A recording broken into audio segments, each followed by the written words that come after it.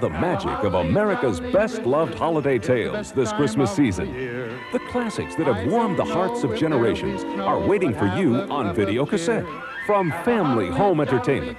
Okay, Rudolph, full power! Like the timeless Christmas treat, Rudolph the Red-Nosed Reindeer, with very merry music by Burl Ives. Then, it's everybody's favorite tale of Frosty the Snowman, filled with the songs of the wonderful Jimmy Durante. You better watch out. You better not cry. You better not pout. And the great Fred Astaire sings up a storm in Santa Claus is Coming to Town, also starring the voice of Mickey Rooney. There's more Yuletide magic with the Little Drummer Boy, voiced by Greer Garson, Jose Ferrer, and featuring the songs of the Vienna Boys Choir. Rudolph the Red-Nosed Reindeer, Frosty the Snowman, Santa Claus is Coming to Town, and the Little Drummer Boy. Video classics for you to take home and treasure this holiday season from Family Home Entertainment.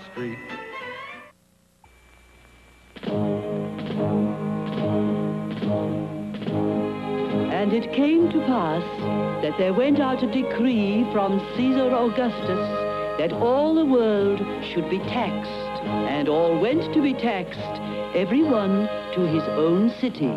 For to disobey the Roman emperor meant certain death. Oh, there were young people and old people.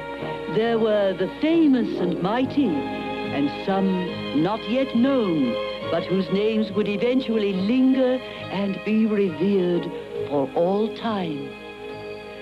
There were good people who could ill afford the cruel tax about to be imposed upon them. And there were others.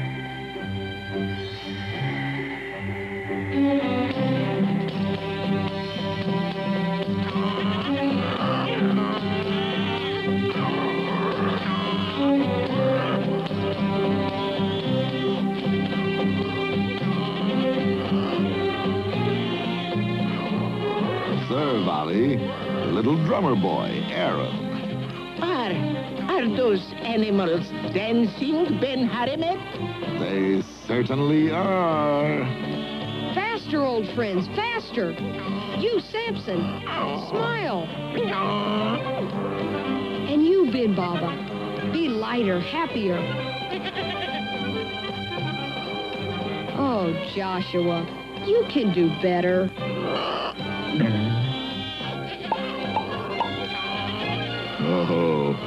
With this marvel in my show caravan, I will be as rich as Solomon.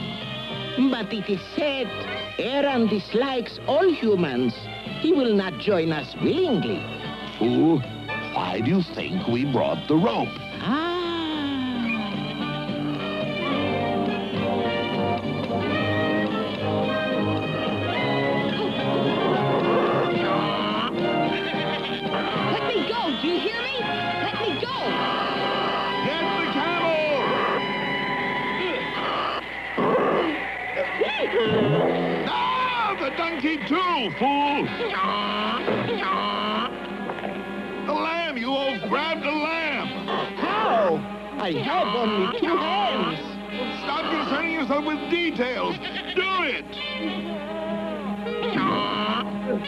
Drummer boy, you may not believe me, but this is the luckiest day of your life.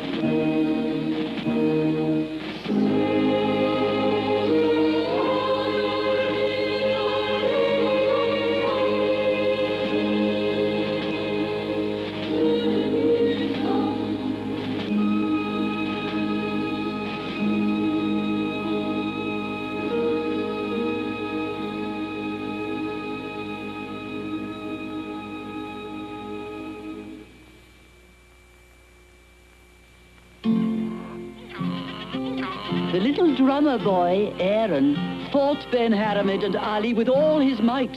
He most definitely did not want to join the showman's caravan and journey into the crowded city. For it was true, Aaron hated people, all people. No, no! I won't go with you. Uh, uh, stop struggling, boy. There is money to be made. We can be rich.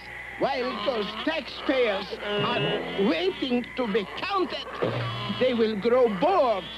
They will crave the entertainment which only I, Ben Haramed, king of the desert showmen, uh, and, of course, you too, can provide. But I do not want to go near that mob. I hate people. All people. And do you think I love people? what a beautiful world it would be without people. But, alas, one must exist with people. And indeed, it is better to be crowded and rich than crowded and poor.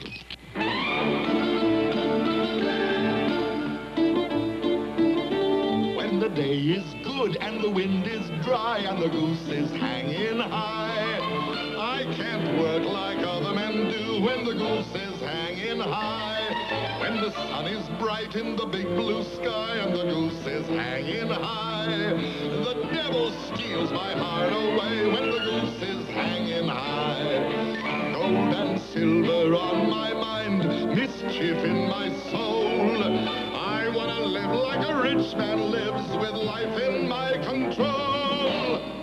When the day is bad and the wind is wet and the goose is flying low,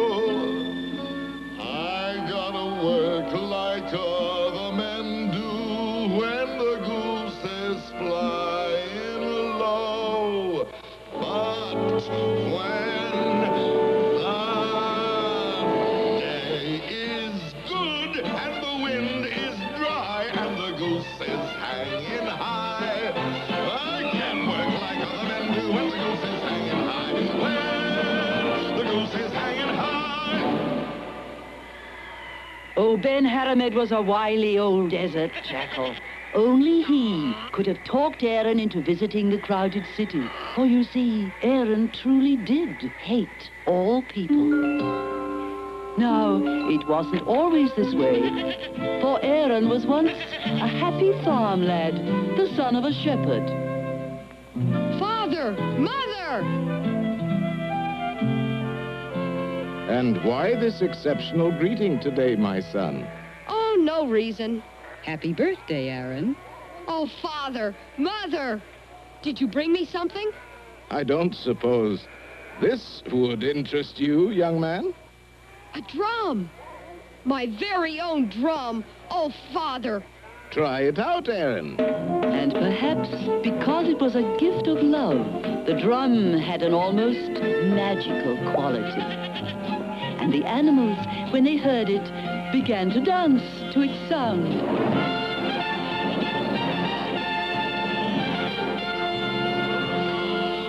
But Aaron's happiness was to end all too soon. For one night, bandits of the desert attacked.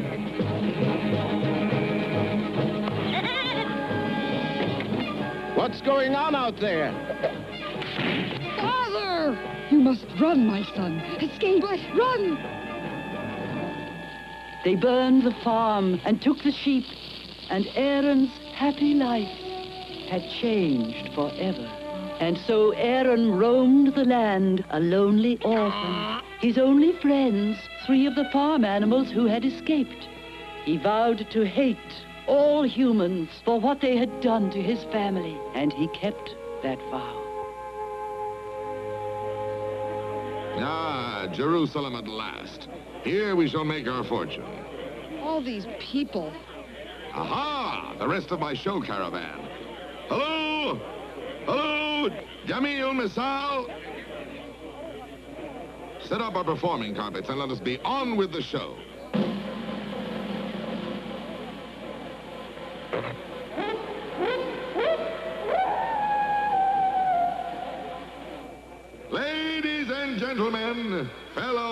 Taxpayers, the day need not be all gloomy, for I, Ben Haramed, king of the desert showmen, have brought at great expense, direct from the palace of the Emperor of China, the toast of royalty, Misal and Jamil, tumblers extraordinary.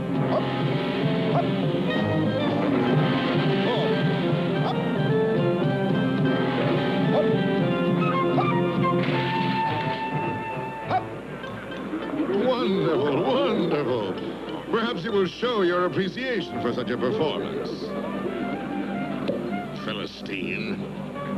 And now let's move it right along with Ali of Arabia, greatest juggler under the stars.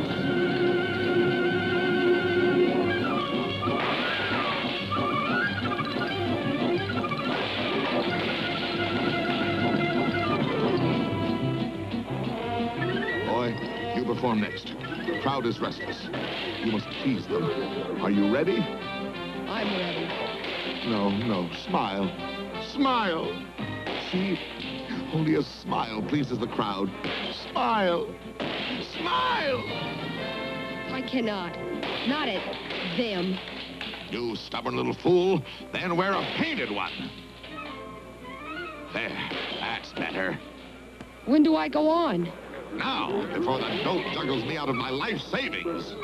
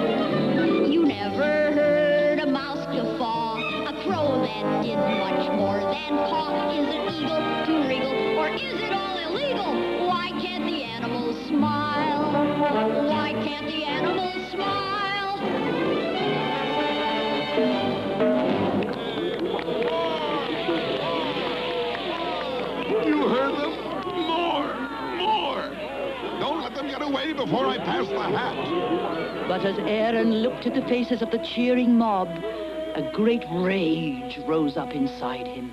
How dare they laugh and be happy after what their kind did to his family? Stop! Quiet! I hate you all for what you did. You're all brave thieves and bandits and knaves and... Run for it! And so the troop was chased out of Jerusalem by the mob. Boy, you shall pay for this indignity. Ben Haramed, look! By the hounds of heaven, it is the caravan of a king. We're in luck. Can I believe my luck? Two kings.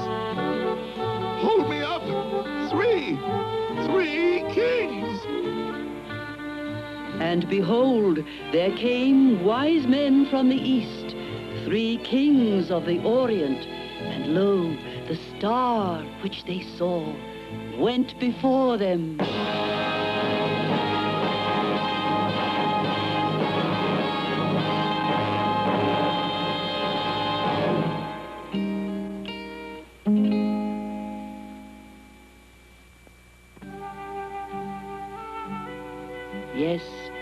Was the star of Bethlehem which shone so brightly and graced the lonely, darkening desert with its silver light. But the little troop did not see the star's beauty, for the souls of Ben Haramed and Ali were too filled with greed, and the heart of Aaron too overflowing with hatred to take any note of the wonder just above them.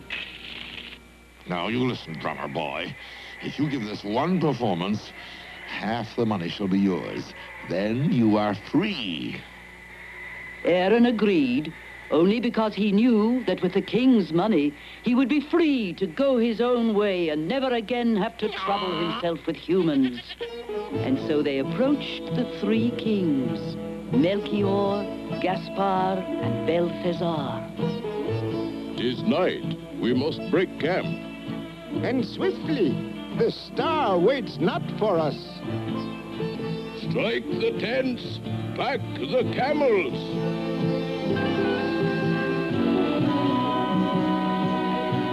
No! Don't go! We just got here! Halt! Out of my way! We must perform! Down, knave! Down! Ben Haramed, a knave? I crushed. Lower your spears. These desert vagabonds seem to mean us no harm. Why do you come to us? We are a troop of players, Your Majesty. Uh, majesties. We have no time for making merry, as you see. We break camp and... But that's ridiculous. begging your pardon. Nobody travels the desert by night. We do, for we follow the star. How very convenient. That, uh... Enough. Be gone. Now to resume our journey. So close. My fortune was so close. And see what they load on the camels, great one. Gold? Oh, oh, it's too painful. Oh. And more valuable even than gold, the precious eastern resins, frankincense, and myrrh. She is too weak to go on, your majesties. Poor creature. She has been weakened by the long journey. Have we no extra beasts? All are laden, almost beyond their strength. Wait, did that player not own a camel? Perhaps he would sell it. No! You strike a hard bargain, player. I've had a hard life. Now load the beast and let us be on our way.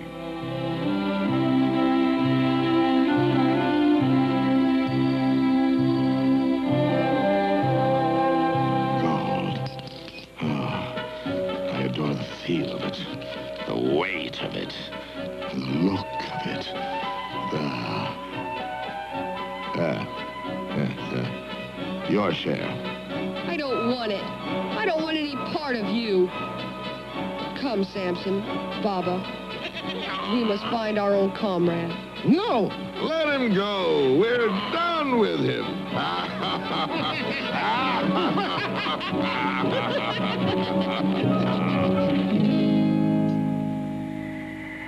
Aaron climbed the tallest hill he could find, but the royal caravan was nowhere in sight. What is it, Baba? Samson? The star? Yes. The kings were following that star. If we follow it, we are sure to catch up with them. Come, quickly! And so they followed the gleaming star, little realizing where it was leading them. The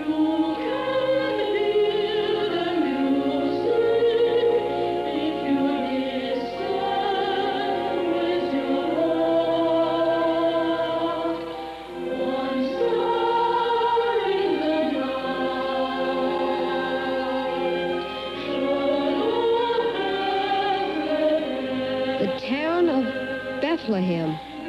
And as Aaron glanced back out over the countryside, seemed to be a gentle army of poor shepherds, all of them being led toward the tiny town. Why, they are all following the same star.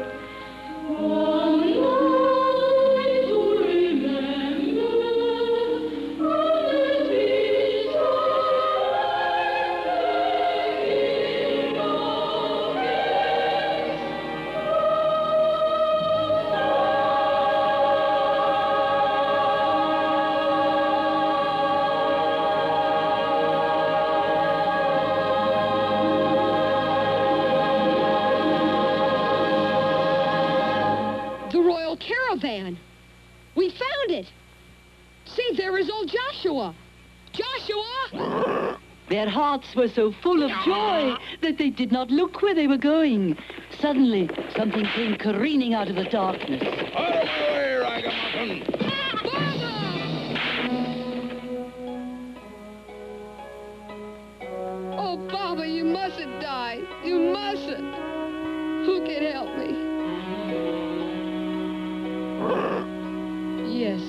The kings. The kings are wise. They will be able to save Baba. Please, I've got to get inside to see the kings. You must let me through. And when Aaron came to the entrance of the stable, he could hardly believe what he saw. And she brought forth her firstborn son, and wrapped him in swaddling clothes, and laid him in a manger, because there was no room for them in the inn. Oh, your majesty, you must... Hmm. Oh, the player boy. My lamb has been injured. You must save him. He is near death. Oh, lad, there is nothing I can do. But, but you are a king. A mortal king only. But there is a king among kings who would save your little friend. The babe? But I do not understand. It is not necessary that you understand. Go to him. But uh, I... I have no gift to bring. Go.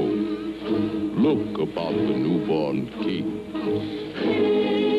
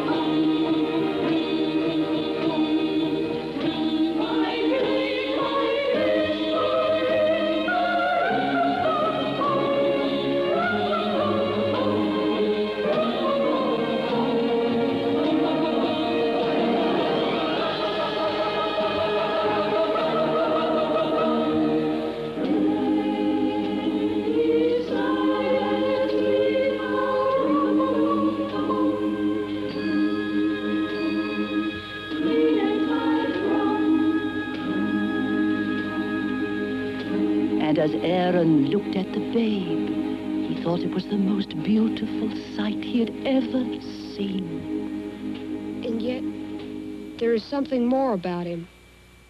So much more. Your gift, little drummer boy, given out of the simple desperation of a pure love, is the one favored above all. See?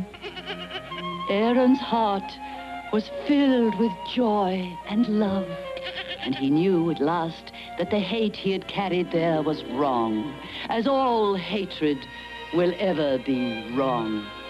For more powerful, more beautiful by far than all the eons of sadness and cruelty and desolation which had come before was that one tiny, crystalline second of laughter. Blessed are the pure in heart, for they shall see God.